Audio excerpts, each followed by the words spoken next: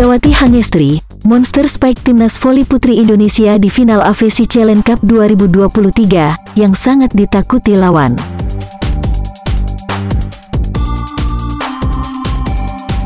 Megawati Hangestri Pertiwi, pevoli putri Indonesia, telah menjadi sorotan dalam ajang AFC Challenge Cup 2023. Seperti diketahui, Megawati Hangestri Pertiwi bukanlah sosok baru dalam susunan pemain tim voli putri Indonesia.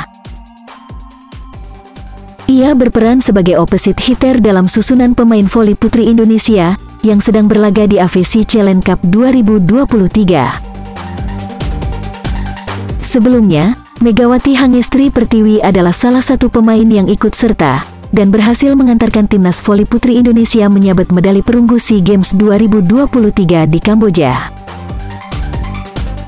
Di mana saat ini, Megawati Hangestri Pertiwi berhasil mencatatkan diri sebagai salah satu top skor putri dalam kompetisi ini, yang berkontribusi untuk membawa timnas voli putri Indonesia ke babak final.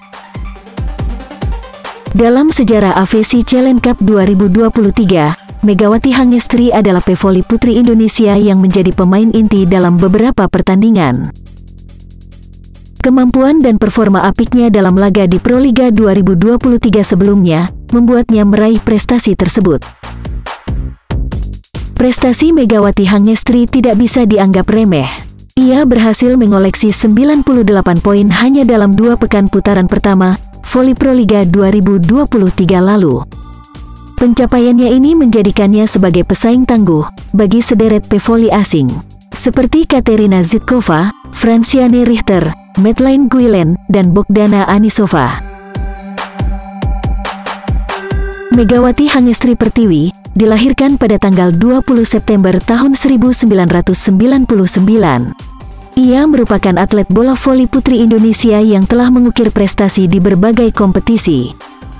Sebelumnya, ia pernah membela klub Surabaya Bank Jatim di Livoli Divisi Utama 2022. Karir profesional Megawati dimulai saat ia masih berusia 14 tahun. Ia menjadi salah satu pemain muda dalam skuad Surabaya Bank Jatim pada Livoli Divisi Utama 2015.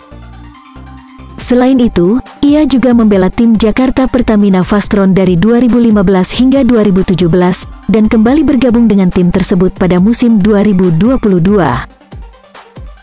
Tak hanya itu, Megawati juga memiliki pengalaman bermain di luar negeri. Pada tahun 2021, ia membela klub Thailand Supreme Chonburi Etek pada Liga Bola Voli Putri Thailand selama satu musim. Setelah Proliga 2022 berakhir, ia juga bergabung dengan klub Vietnam Haputan Hoa pada Liga Bola Voli Vietnam tahun 2022.